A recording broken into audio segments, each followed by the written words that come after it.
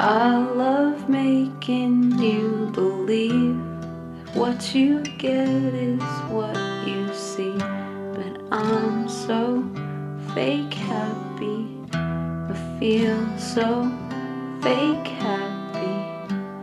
And I bet everybody here is just as insincere. We're all so fake happy and I know fake happy.